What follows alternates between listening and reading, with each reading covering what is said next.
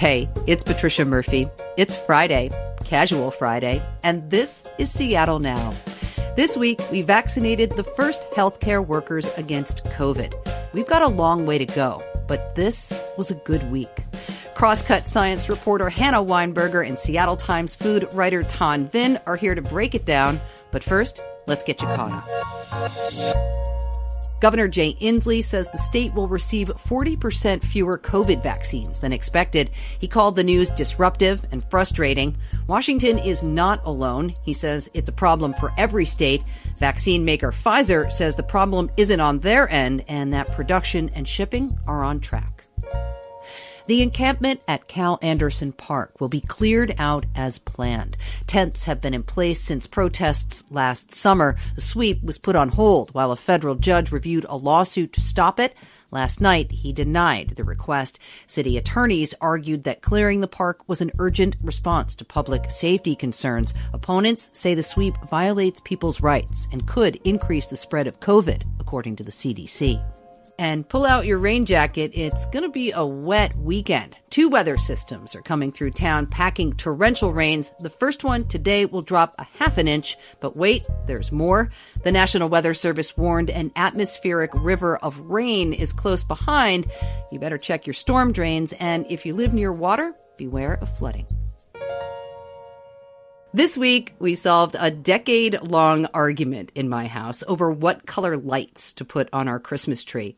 I bought LEDs with one click. The color of the lights change, and everyone gets a chance to get a little bit of what they need. It was a small grace in this terrible year, but these days we're counting even the small things, and I'm not one for resolutions, but that seems like a good idea. Crosscut Science reporter Hannah Weinberger is here. Hey, Hannah, without saying what it is, are you thinking about a New Year's resolution? Um, yes. All right. All right. Solid. Seattle Times food writer Tan Vinh is back. Hey, Tan, did you make a resolution for this new year? I did not. Just taking it one day at a time, Trish. That's all I can do. Yep. I think we're all just trying to get through. Let's talk about the best news of the week, which of course is the arrival of the COVID vaccine. Healthcare workers in Seattle started getting shots on Tuesday. Hannah, this is news we have been waiting for and there's been so much tough reporting on the pandemic. At least for the moment, it must have felt cool to do like positive reporting and exciting news. You know, it's really exciting to see the vaccine out in the world. And I know that other people are also really excited because when you turn on cable news, every minute is just somebody getting vaccinated or a truck on the highway. It's full of vaccines. And I have so many conflicting feelings you know, on the one hand, there's something so wonderful about the world celebrating this incredible scientific achievement to the point where we care about the minute to minute GPS location of a truck carrying vials of vaccine with photographers following them like celebrity paparazzi style. it's true. And, and, we're watching the most important unboxing video that has ever been filmed over and over. Like, if we stop watching it, if we don't like pinch ourselves, it won't be real it's you know a balm for people who just want to know. We're one step closer to being out of this mess but this is the first week and there's so much that could go wrong.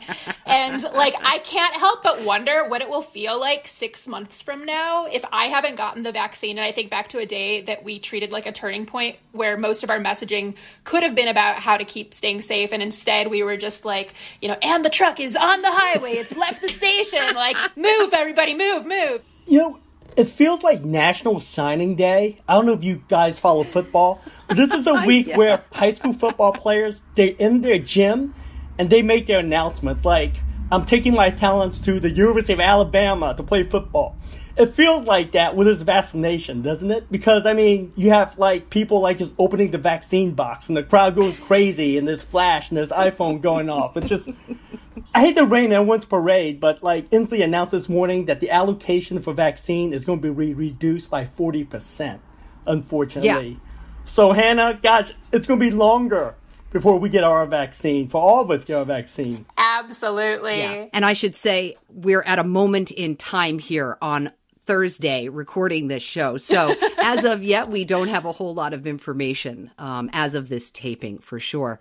Tan, I don't know about you, but I am totally done seeing the B roll of the TV injections right now.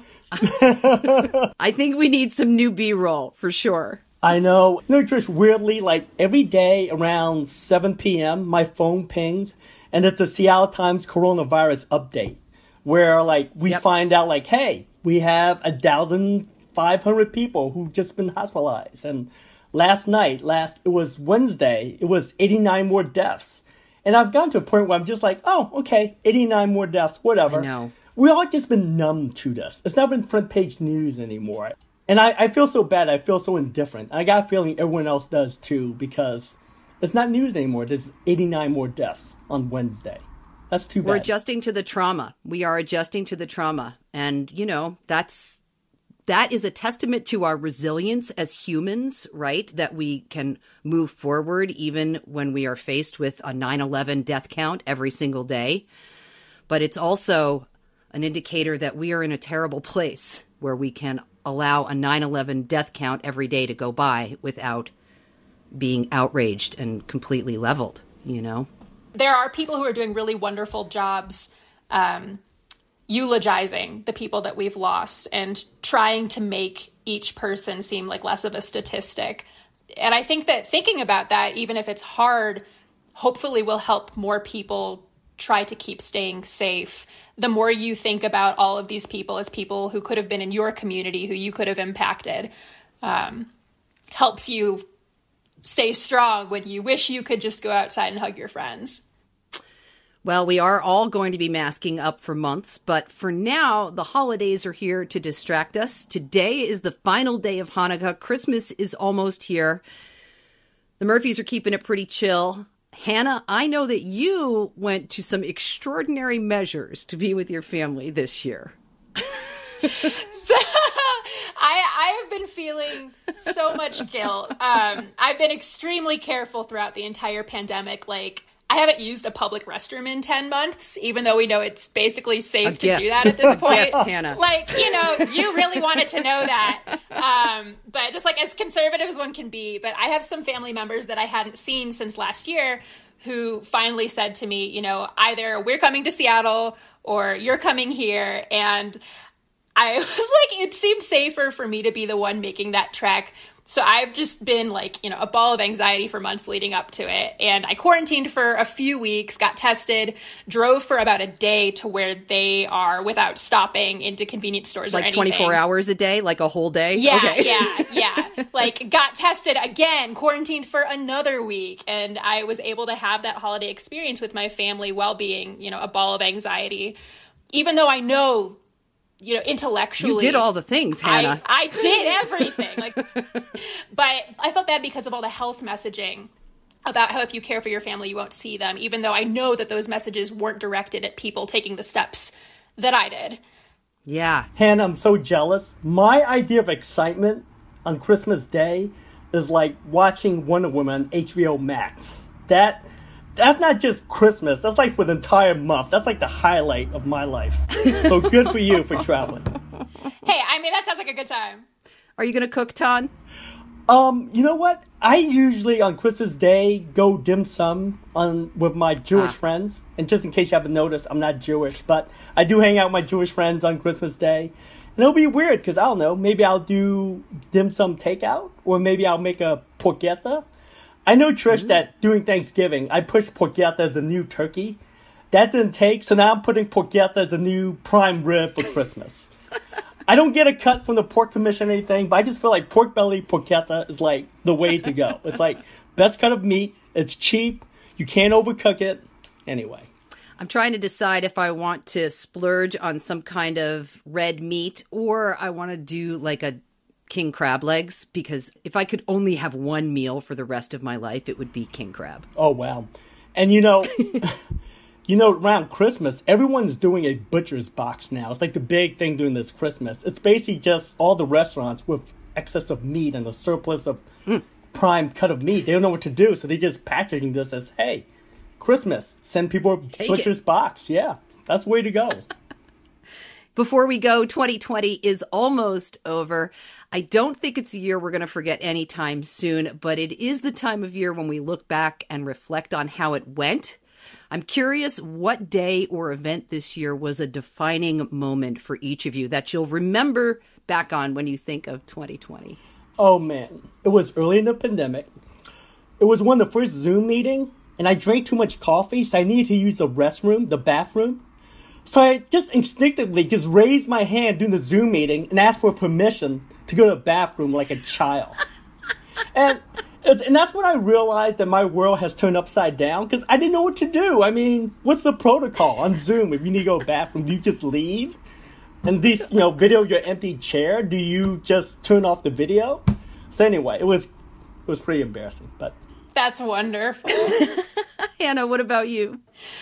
Oh man. Um I have a fun one and a not so fun one, I think. So, my not so fun one was in June. I was writing a COVID adjacent story, and um, the police brutality protests had just started. So, I was the emergency contact for a bunch of people, watching their you know phone gps locations on a map relative to like where i knew guns might be and then all of a sudden i get a call from one of my brothers that a family member had been bitten by a rattlesnake and was on the way to the hospital. And I was just like, if I can handle this, I can handle a- anything. Doesn't get much more 2020 than that.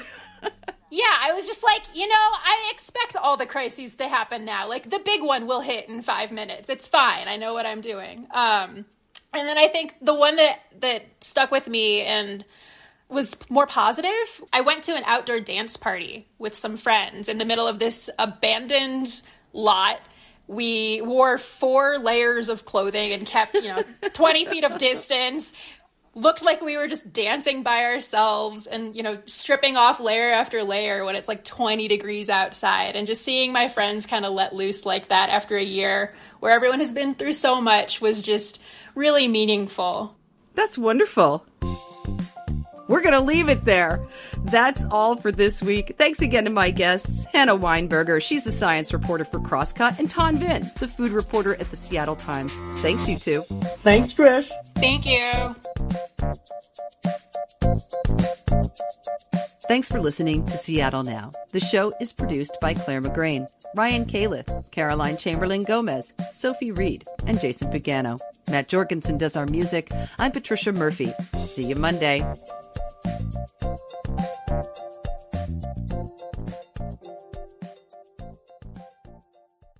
As this memorable year comes to an end, it's good to know we got through it together. KUOW has been able to bring you programming that broadens your perspective, thanks to our members who step up to support this work. If KUOW has been there for you at some point in the past year, consider making a financial gift to ensure a new year of telling important stories about our community. Use the link in our description to make your gift today. And thanks.